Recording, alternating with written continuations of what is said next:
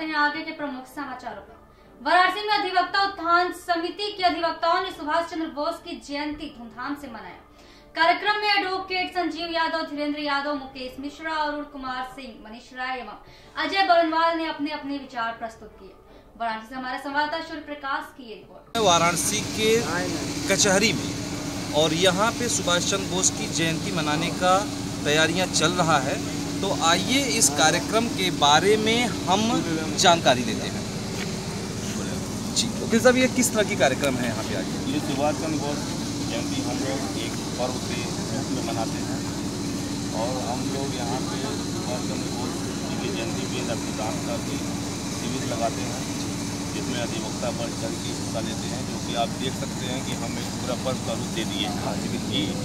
और इसमें हमारे मुख्य अतिथि ये ब्रिगेडियर हुकुम सिंह बैसला साहब हैं जो कि बारह बारह बीस का अभी हमारे पास फ़ोन आया है कि बारह बीस का उनका टाइम है और कुछ बताना चाहेंगे? आप वकील साहब कुछ बताना चाहेंगे इसके बारे में? नेताजी सुभाष चंद्र बोस जी ही देश के असली नायक हैं और उन्होंने ही इस देश को आज़ादी दिलाई है। ऐसा हम कचहरी परिसर वाराणसी कचहरी के अधिवक्ताओं का मानना है। इसलिए हम लोग नेताजी की जयंती को बड़े धूमधाम से और हर्षोल्लास के साथ मनाते हैं। देखा कि सुभाष चंद्र बोस जयंती की धूमधाम से तैयारियाँ चल रही हैं हाँ, और हाँ। बजे मुख्य अतिथि का आगमन होने वाला है। बस आप तो आपने ये देखा कि वकील साहब ने ये कहा कि जिस सुभाष चंद्र बोस जी को उनको इतिहास के पन्नों में छुपा दिया गया तो उन इतिहास के पन्नों को जनता के सामने लाना चाहिए। वाराणसी में 21 जनवरी से हो रहे भारतीय प्रवासी सम्मेलन में काशी के अलौकिक दृश्य में कुदरत के वरुणदेव ने 22 जनवरी की रात्रि में भंग डाल ही दिए। गरज चमक के द्वारा हुए हल्के बारिश से थोड़ी बाधा तो उत्पन्न हुई, पर शासन प्रशासन के चाक चौबंद व्यवस्था से किसी भी प्रकार की व्यवस्था बिगड़ने नहीं पाया। वाराणसी से हमारे संवाददाता सूर्य प्रकाश की रिपोर्ट। मौजूद है, इस समय हम चांदमारी जहाँ से कुछ चंद कदम के दूरी पे प्रवासियों का टेंट सिटी बना हुआ है। सुबह से ही बूंदाबांदी हो रही है, बारिश का मौसम है, लेकिन इस समय आप देख सकते हैं, सूर्य भगवान निकल चुके हैं। तो आइए हम देखते हैं, चल करके प्रवासियों के टेंट हाउस के पास कि वहाँ का मौसम या वहाँ की स्थिति कैसी है। इस समय प्रवासी सुबह से बूंदाबांदी हो रही लेकिन इस समय सूर्य देवता ने अपनी आँखें खोल दी हैं हालाँकि बूंदाबांदी का कोई खास प्रभाव यहाँ नहीं है, क्योंकि यहाँ की व्यवस्थाएँ लाल लाल भैरव मंदिर कंतिक विंध्याचल मिर्जापुर से महंत नागा बालक गिरी के 40 साल की तपस्या के बाद एक चैलिन बनाया, जो कि अच्छे ढंग से उनका बाल मुंडन। तब उन्हें नया वस्त्र धारण कराया गया। शिष्या का नाम नंदिनी गिरी रखा गया, जो कि देश विदेश की महिला, नागा साधु सन्यासियों और पुरुष नागा साधु सन्यासी भी टेंट में उपस्थित रहे। मिर्जापुर से हमारे संवाददाता अश्विनी कुमार मिश्रा की रिपोर्ट।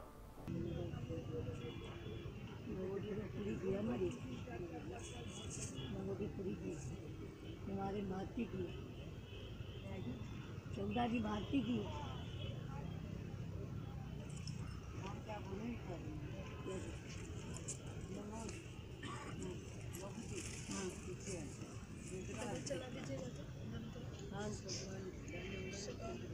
ये थे अभी के समाचार जानेंगे आगे के समाचार छोटे से ब्रेक के बाद ਸਤਿ ਸ਼੍ਰੀ ਅਕਾਲ ਜੀ ਮੈਂ Gurlal Singh Barola bureau Punjab fast news India channel ਵੱਲੋਂ ਸਾਰਿਆਂ ਨੂੰ happy new year happy Lohri happy Makar Sankranti ਤੋਂ ਇਲਾਵਾ ਧੰਨ ਧੰਨ ਸ੍ਰੀ ਗੁਰੂ ਗੋਬਿੰਦ ਸਿੰਘ ਸਾਹਿਬ ਜੀ ਦੇ ਪ੍ਰਕਾਸ਼ ਦਿਵਸ ਦੀਆਂ ਸਭ ਨੂੰ ਬਹੁਤ ਬਹੁਤ ਮੁਬਾਰਕਾਂ ਦਿੰਦਾ ਹਾਂ। ਤੇ ਨਾਲ ਹੀ ਮੈਂ ਗੱਲ ਕਰਦਾ ਹਾਂ ਫਾਸਟ ਨਿਊਜ਼ ਇੰਡੀਆ ਚੈਨਲ ਦੀ।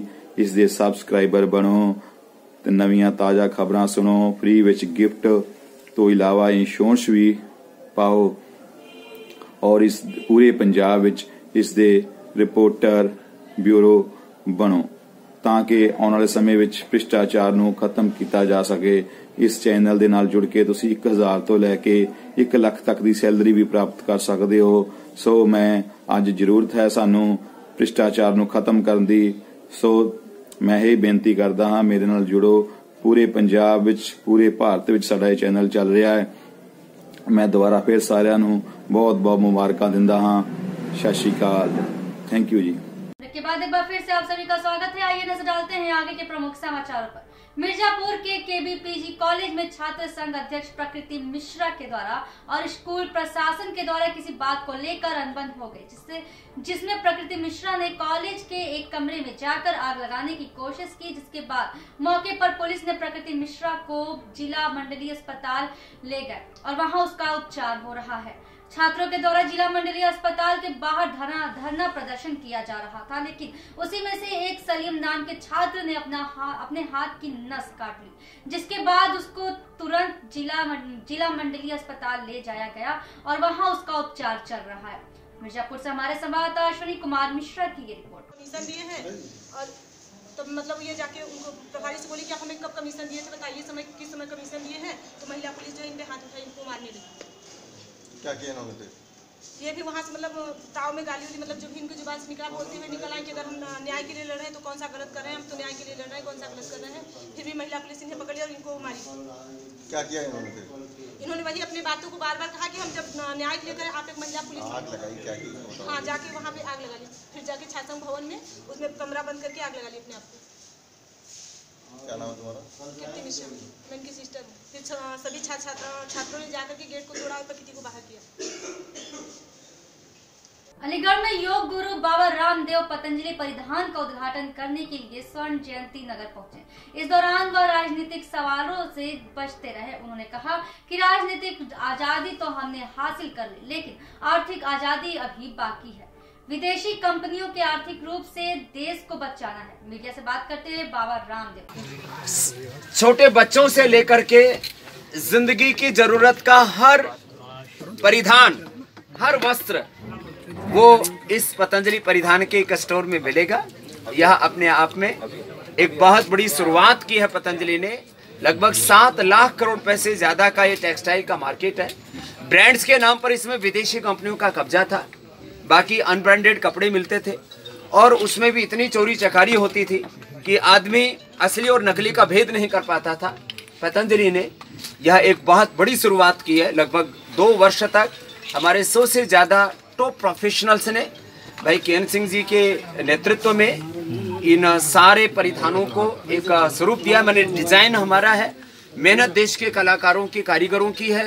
देश के हुनर का और देश की संस्कृति, सभ्यता, संस्कारों का इसमें हमने देश के स्वभाव का ध्यान रखा है और इसके साथ ये एक नया संसार जो आप अपने आँखों से देख रहे हैं यहाँ पर, एक छत के नीचे पूरे भारत की वेशभूषा को यहाँ पर हमने सजाया है, संजोया है।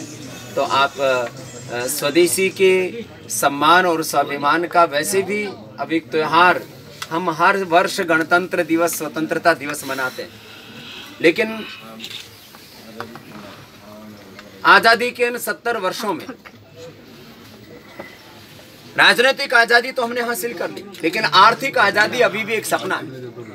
हम आर्थिक आज़ादी को ज़मीन पर उतार रहे हैं और विदेशी कंपनियों की आर्थिक लूट और गुलामी के षड्यंत्र से देश को बचा रहे हैं। आर्थिक आज़ादी के साथ देश को शिक्षा की आज़ादी मिले, इसलिए भारतीय शिक्षा बोर्ड को हमने एक बहुत बड़े स्वरूप में सरकार के सामने रखा और मुझे विश्वास है। अभी मोदी जी से, अमित जी से और जावड़ेकर जी से मेरी मुलाकात हुई। मुझे विश्वास है कि मैकाले की शिक्षा पद्धति का एक श्रेष्ठ विकल्प भारतीय शिक्षा बोर्ड के रूप में मिल जाएगा।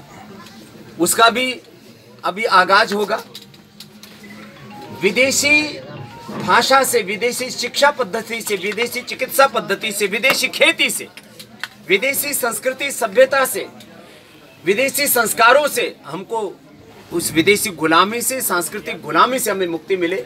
इसके लिए यह पतंजलि का आर्थिक नेताजी सुभाष चंद्र बोस की जयंती पर उत्तर प्रदेश का मेरठ के बाद ये दूसरा अलीगढ़ में पतंजलि परिधान का स्वदेशी के स्वाभिमान के साथ एक छत के नीचे साढ़े तीन हज़ार से ज़्यादा एस के टेक्सटाइल के योगा और स्पोर्ट्स के साढ़े तीन हज़ार से ज़्यादा ऑप्शन यहाँ पर मिलेंगे। और विदेशी कंपनियों की तुलना में लगभग दो से तीन गुना सस्ता और हर क्वालिटी पैरामीटर पर। जितने भी विदेशी कंपनियाँ उनसे ज़्यादा श्रेष्ठ यह पतंजलि परिधान का एक स्वदेशी वस्त्रों का अपने देश के हुनर को सम्मान देते हुए और अपनी परंपरागत मूल्यों और संस्कारों का ध्यान रखते हुए आधुनिक फ़ैशन का भी उसमें समावेश करते हुए वेस्टर्न से लेकर के और अपने परंपरागत परि सभी के समाचार आगे कुछ खास खबरों के लिए यूँ ही बने रहिए फास्ट न्यूज़ इंडिया के साथ। तब तक के लिए दीजिए इजाज़त। धन्यवाद।